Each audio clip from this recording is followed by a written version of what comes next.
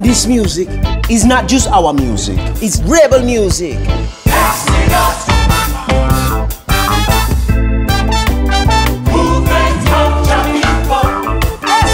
Sounds sweet!